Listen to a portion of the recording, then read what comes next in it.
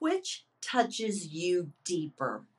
When someone tells you they're an expert at something, or when they demonstrate to you that they're an expert. In this video, you'll discover four ways to demonstrate the benefits of working with you as a virtual assistant. Hi, I'm Kathy Goughenour, a business coach and trainer exclusively for virtual assistants.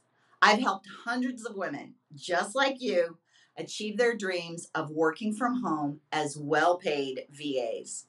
On this YouTube channel, I will show you how to create a VA career and gain the freedom, flexibility, and financial security you desire and deserve. Here are four ways to demonstrate your expertise. Number one, through client testimonials. You can add testimonials on your website. You can ask people to recommend you on LinkedIn. In fact, that's one of the best places to get powerful testimonials. And you can also share all the testimonials you receive on other social media platforms such as Facebook, Twitter, and here on YouTube for the world to see.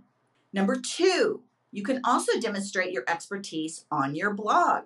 Write case studies that talk about the problem a client had before they came to you, how you solved that problem, and what their business is like now that they've been working with you. You can also demonstrate your expertise by blogging how to info, kind of like this video. Another example if you specialize as a writer, you can write a how to article on how to write a blog post.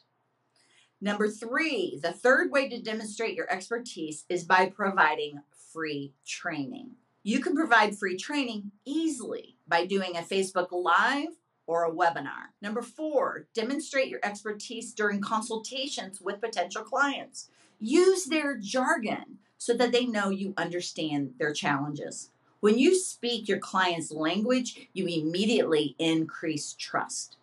Which of these four ways are you going to use to demonstrate your expertise? Like this video, subscribe to my YouTube channel, and comment below and let me know which of these four you're going to try first.